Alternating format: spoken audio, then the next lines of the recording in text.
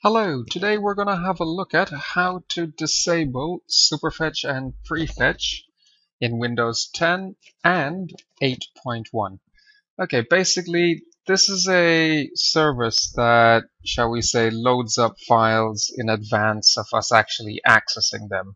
So basically, if we were going to load up a program in a few seconds based on our history and our behavior patterns, Windows kind of like stores the data for that program, etc., in advance. Okay. However, it does increase the read times and read access, write access to disk. For example, if you have a solid state disk, okay, the extra reads and writes to it actually wears down your lifespan. Also, in certain cases, it uh, could actually slow your computer down. However, it is quite an efficient system and it does actually work but in certain instances we need to disable it. How do we do it? We need to go to services. How do we get there? Basically quite simple. In Windows 10 over here you just type in services.msc. Okay, it comes up with the service over here. Sometimes before the MSC it automatically shows up like over there. Okay. And there we go. Give it permission. And it brings up our window that we had before. And we scroll down and we find our superfetch. Okay, what we would want to do is basically disable it. Okay, stop it from running currently. Okay, once that's done, we also need to go into the registry and set it up there. So we type in regedit. Okay, we've found our regedit. And now we need to go to Whoops. close that one down. H key. Let's H key local machine. Then it's system.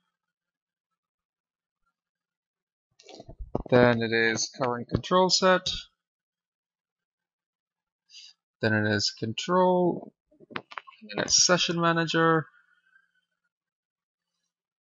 Let's just make that a little bit bigger. Okay, then it's session manager. And then it's memory management. Okay, then prefetch parameters. Okay, enable superfetch and enable prefetch. Okay, 3 is basically giving it the enabled option. Okay, 1 is disabling it. So, sorry, 0 is disabling it. 1 enables prefetch for applications only. 2 enables prefetch for boot files only. And 3 prefetch for boot and application files. In this case, we want to disable, so it's 0. Okay. And we can type in as a hex or a decimal. Zero is the same for both of them. Okay, go to zero again. Okay, and then that's done.